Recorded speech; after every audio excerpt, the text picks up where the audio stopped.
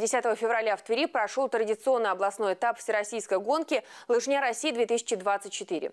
В нынешнем году он был приурочен к 80-летию полного освобождения Ленинграда от немецкой блокады. За массовым забегом наблюдал наш корреспондент Роман Быков.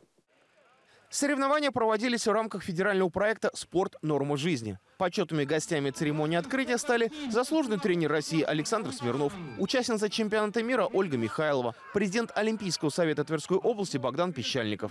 Приветственный адрес участникам, организаторам и гостям соревнований направил губернатор Игорь Руденя. Вовлекая в свою орбиту тысячи участников разных поколений, мероприятие неизменно пропагандирует ценности активного и здорового образа жизни. Уверен, что в год семьи в нашей стране региональный этап лыжни России станет настоящим семейным праздником, даст импульс для дальнейшей популяризации лыжного спорта и занятий физической культурой Верхневолжья. Губернатор Тверской области Игорь Михайлович Руденя. Лыжня России ежегодно объединяет любителей и спортсменов-профессионалов разных поколений. В региональном этапе в этом году приняли участие 5300 человек. Они боролись за победу на дистанциях в 1, 2 и 5 километров для разных возрастных категорий. Артем Бакулин уже не в первый раз выходит здесь на лыжню. Я в прошлом году бегал, по-моему, сколько я бегал? Два километра?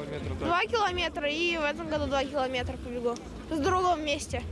Какие результаты показывал? Ну, прибегал точно не последним и не первым. Для меня это спорт, и для меня это актив, и мне это нравится. Многие на соревнования приходят с семьями, дружескими компаниями, коллективами предприятий или образовательных учреждений. Например, Тверская школа имени Отрощанка делегировала сюда десятки своих учеников. Сейчас мы выступаем с кадетским классом Центра образования Отрощанка. Почти 40 человек заявилось. Да? Это всегда праздник, массовость, погода супер. Всегда это э, место встречи, э, где-то можно пообщаться.